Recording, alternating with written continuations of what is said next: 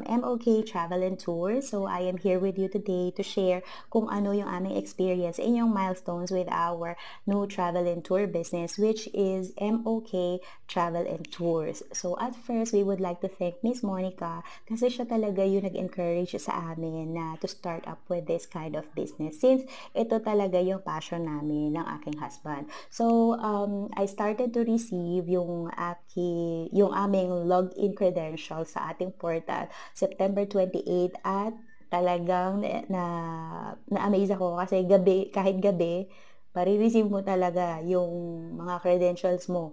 So, yun, na-receive ko siya around 10 o'clock in the evening na yata. So, I would say na legit talaga naman siya. Kasi, um, yun nga, naia-assist ka nila ng maayos. At saka yung mga training videos ni Miss Monica is napakalaking tulong talaga sa mga negosyante, especially kung bago ka sa ganitong klaseng negosyo.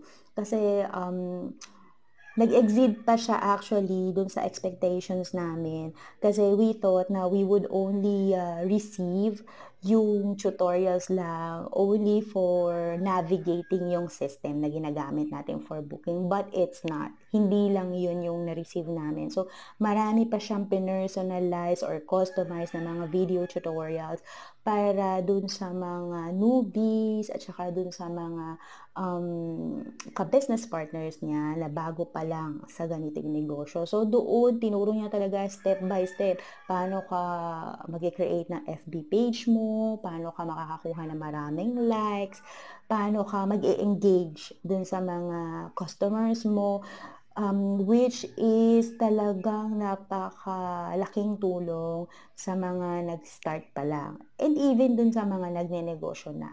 Kasi this kind of um, uh, mga skills na meron si Miss Monica na i-share niya sa atin, um, ang alam ko, mahal talaga yung bayad dyan. Kasi nag-try na ako na bumili ng ganyang klaseng uh, course noon, online course, short course lang naman. Pero I would say dun sa binigay ni Miss Monica na video tutorials, mas madali ko siyang naintindihan, mas madali ko siyang nai-apply.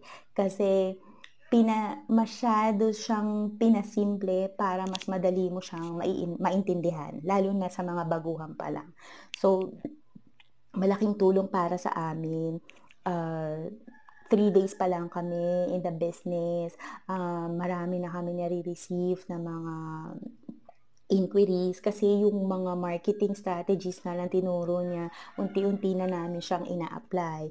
And uh, natutuwa kami kasi we were already expecting bookings going to Tokyo, Japan, going to Korea, and a group booking for Davao Tour and in Boracay. So yun, masyado kaming na-excite na ngayon. So thank you, thank you so much, Miss Monica, kasi bagong-bago pa lang, fresh na fresh pa lang yung aming business. Naglalakad pa lang kami ng mga permits namin. Pero yung business is working um, well na din, I would say. Kasi nga positive yung nakukuha namin na um, result dito sa mga natutunan namin sa tutorials na binigay niyo po sa amin.